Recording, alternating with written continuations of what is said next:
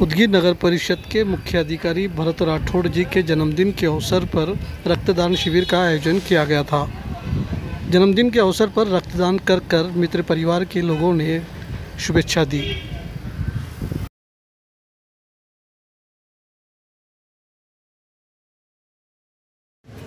ಒಳತನ